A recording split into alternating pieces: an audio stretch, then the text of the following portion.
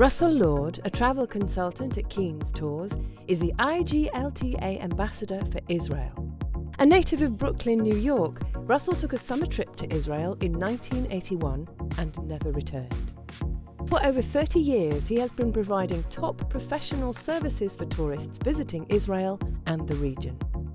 As one of the pioneers in promoting LGBTQ tourism to Israel, Russell has worked to change the perception of Israel as a destination only for traditional pilgrims and religious institutions to a more diverse destination that includes a happening LGBTQ scene.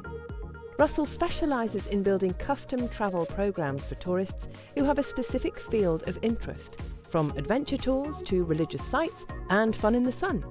In 2009, he hosted an IGLTA fam trip to Israel, which included an in person welcome from the Mayor of Tel Aviv. Russell and his partner Avi have been together since 1982 and were married in 2005. Together with four other couples, they brought the marriage issue to the Israeli Supreme Court. By 2006, they won their case, and same sex marriage was fully recognised in Israel.